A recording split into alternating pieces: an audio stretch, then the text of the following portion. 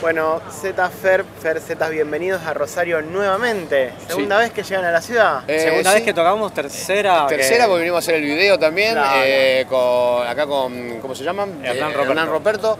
Un amigo, que espero una- verlo una- hoy. Un amigazo que iba a venir seguro, hicimos un re lindo trabajo, así que nada, como eh, te diría que prácticamente no sé, más que una segunda casa es como una primera casa, Rosario, Más ¿no? o menos, ¿no? Siempre nos recibió con, bueno, no es casualidad, eh, Diego Castro, que es parte del equipo, eh, trabaja con nosotros y él es productor, vive aquí en Rosario. Y lo conozco desde hace muchísimos años, yo, de mi época con Soda todavía. Así que nada, él es parte, hace las luces y trabaja con nosotros y él es un poco el contacto, eh, que, digamos, para, para que se produzcan este tipo de encuentros. Pero la verdad que por suerte, porque me encanta la gente de Rosario, es gente súper súper de avanzada, ¿no? Papá, y no es poco importante que una de esas tres veces que viniste te declararon ciudadano ilustre de la ciudad de Eh, Rosario. sí, sí, sí, pat- cosa, patrimonio, ¿eh? Patrimonio cultural, No, no. patrimonio- ahora me tienen que cuidar. No lo vimos eso. Podemos decir que Fito tiene razón, Rosario siempre estuvo cerca. Rosario, si no, nunca estuvo lejos, seguro. Eh, sí, siempre, eh, además tenemos el río, ¿viste? Que Mirá es que igual. lo que ustedes tiran lo comemos nosotros. Mirá que cerca que venimos con nuestras familias, en nuestros autos, es casi, para nosotros ya es un segundo hogar. ¿Cómo surge la idea de este shot de radio? Bueno, hace ya cuatro años, ¿no? Eh, nos encontramos con Fer, tenemos una relación de hace muchísimo tiempo. Él era Los Sueños de Anderson, una de las- mis primeras bandas en, en mi proyecto de Alerta Disco, cuando tuve mi sello independiente, proyecto Under también. Y en esa época mm, también tenía un estudio, así que lo- los primeros trabajos eh, trabajamos, compartimos mucho en el estudio. Después Hicimos hicimos de gira juntos, hicimos toda Latinoamérica, Sí. nos encontramos en Perú, después cada cual con su proyecto, nos hemos cruzado en Perú, fuimos eh, Guatemala, Costa Rica y después bueno muchos shows al interior también, cada cual con su proyecto, con él como DJ, yo como Los Sueños de Anderson, que es un, proyecto unipersonal electrónico, hasta que... Así que eso compartimos aventuras, compartimos Muchas. muchísimas situaciones, así que es una relación de mucho tiempo. Hay unos cimientos, digamos. Y ahí en un momento yo andaba con ganas, eh, ¿viste? soy un tipo muy. Hay etapas de mi vida me, me monto en- de productor, otras me canso y no quiero ser más productor, quiero volver a ser artista.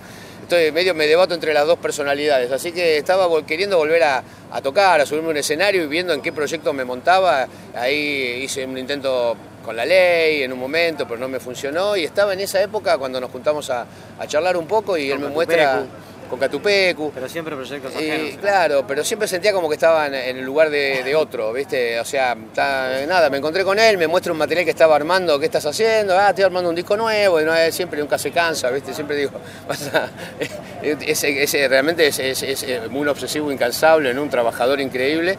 Eh, es el tipo que es capaz de hacerse los muebles de la casa, ¿entendés? O sea, no no te puedo explicar hasta dónde llega su, su capacidad. Sí, sí, sí, Este, que- que un reto lo gano. que le suma, le suma mucho al proyecto, porque imagínate que hoy van a ver unas luces increíbles, las hizo él en la casa, eh, eh, comunicándose por internet con, con- Con con chinos. gente, con chinos, ¿entendés? Unas cosas ¿Cómo le entendés al chino? En inglés. en inglés. Todo en inglés. Lo gracioso es cuando te llegaba el mail, los primeros cuatro que no eran todos en chino, era muy No gracioso. sabía ni qué, si era, si era Sí. urgente o si no, viste, cuando lees el encabezado digo, bueno. Ah, usé traductor de Google eh, para, para algunas cosas. de Así chino. que imagínate que a- así están las cosas, ¿no? Los acentos van en cualquier lado. Surge ahí un poco la mezcla de esto de, del Bueno, rock te decía, electrónico. Fer es una persona que conozco mucho y bueno, me muestra ese material que tenía ahí eh, incipiente que estaba tomando, que estaba armando para su próximo proyecto y le digo, esto está buenísimo, este- esto necesita de un bajo en vivo. Y dice, "Y si te copás, lo, lo armás". Y ahí empezamos, empezamos con eso, sobre esos temas a, Y fluyó, a- armarlo primero, Hypervelocity, Shine On, los primeros temas y nos encantó lo que pasaba. Dijimos, esto, nada, nos entusiasmamos, nos dimos manija, nos llevamos muy bien. Y este formato así, como digo yo, de tenis, ¿viste? O sea, este, este- el, el dúo me gusta como, como, como banda. Después de haber probado muchas formas, es algo que me, me encanta porque es como somos dos productores, no tenemos límite, no tenemos un cantante, no tenemos eh, límites en ese estilo, ni, de estilos, ni de, ni de registros, ni de colores. Así que es un proyecto que me parece que tiene un techo altísimo. Ha- Había cierta incertidumbre cuando sacamos el disco, no de parte nuestra, pues obviamente estábamos seguros del material, pero yo se lo hice escuchar a un par de personas. Dice, ¿te parece rock electrónico, sinfónico? ¿Viste? Como muchas cosas orquestales en el primer disco, eh, muchos guiños a los años 70, al, al progressive de esos años.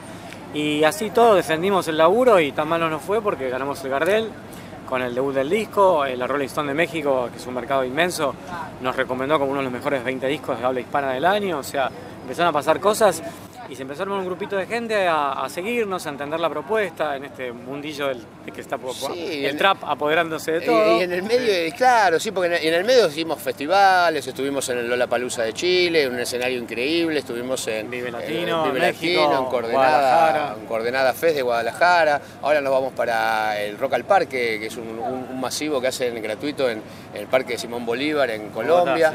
Eh, en Bogotá, así que nada, eh, la verdad que felices de, que esto es un, es un camino que, lo, vamos, lo vamos llevando, o sea, no es una cosa que digas, ah, tenemos que salir de gira a 20 ciudades, pero nos encanta esto también que sea, que sea así tranquilo, que nosotros vayamos haciendo la música que nos gusta, que no tengamos que comernos ninguna presión. Es un poco más descontracturado lo que vienen haciendo, lo van haciendo cuando les place, cuando tienen ganas, cuando eh, si no, no funcionaría después de todo lo que hizo Z en su carrera, para ponerle una presión enorme. Eso lo supe yo desde el primer día, que si estaba tratando con Z, eh, siendo un soda estéreo, lo que, y él habrían determinado con soda que era una cosa gigantesca, si yo intentaba decirle hagamos algo enorme, y sé yo, y todas esas cosas, ya, ella lo hizo eso. Y la verdad que a mí nunca no, no, me pasó ni me va a pasar a esta altura de mi vida, entonces mejor quedarme con lo que puedo disfrutar y, y quiero que es esto, hacer la música que me gusta, que no es poca cosa. Hace poco hacemos una nota justamente y algo que siempre dice Z, de lo cual casi me adueñé, que es eh, decir que para una banda nueva haber encontrado un sonido el cual identifica la banda, es, es, un logro enorme en estos tiempos. Sí, en un primer disco creo que ya tenemos algo muy definido y ahora viene algo que entusiasma mucho, que es empezar a armar eh, material nuevo, estamos con, sobre, trabajando sobre, ya sobre las los nuevos temas, con cantantes, eh, probando eh, cosas que funcionaron en el disco anterior, viendo cosas nuevas y nada, así que esto es algo que va para adelante. Acabamos de editar eh, una serie de remixes que están en, eh, las pueden escuchar en las plataformas, que son eh, distintas visiones de DJs que son más de pistas o de grupos, como Ututut, de, de, los temas de Opera Galaxy, de otra gente que son colegas, que están en la misma historia. Lo que nosotros hacemos es, de alguna forma, formar parte también de, hay un movimiento de música alternativa en Argentina, de, música que tiene que ver con la electrónica y todo, que no, que no va por el lado de las radios ni del mainstream,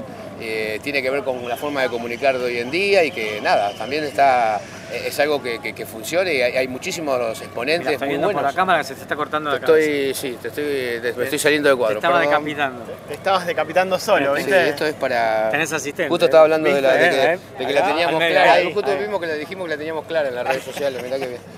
tiene, que, tiene que estar controlando él. Lo hacemos re clarísimo igual, porque nos, manejamos con gente joven alrededor. Chicos, ¿con qué se encuentran los rosarinos hoy?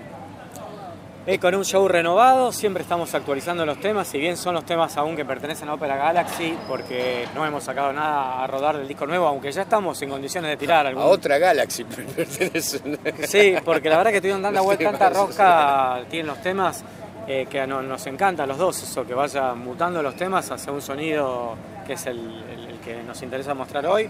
No son las versiones originales, aunque son reconocibles del disco, tiene una dinámica diferente, un poco quizás más de pista, con más group eh, y bueno, nada, nos entusiasma eso de renovar un poco los temas y darles eh, longevidad. El show es impactante por, por más que no, no sé, no entiendas mucho, la música es, muy, es muy agradable y el, espectáculo de luces y todo, te digo, porque hoy va a ser un público totalmente heterogéneo. improvisado, heterogéneo, vamos a estar acá en la calle y nada, yo creo que la van a pasar muy bien. Van a flashear, va a ser como ver un ovni que, aterrizó acá de repente, ¿no? Más o menos. ¿Esto cuando sale? ¿Antes de hoy? No. No, mañana. Mañana, qué lástima. Vengan ayer, vengan ayer. Hubieran venido, no saben lo que se perdieron. Esto, o esto es un déjà vu. Ah, eh, yo cierro con eso. Muy bien, ¿eh?